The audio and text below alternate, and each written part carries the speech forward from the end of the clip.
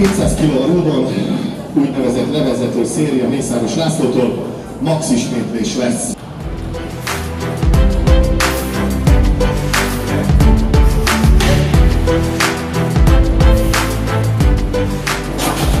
Jó, 10 ismétlés, ez relatív már gombócból is sok, meg lehet próbálni a súly felével.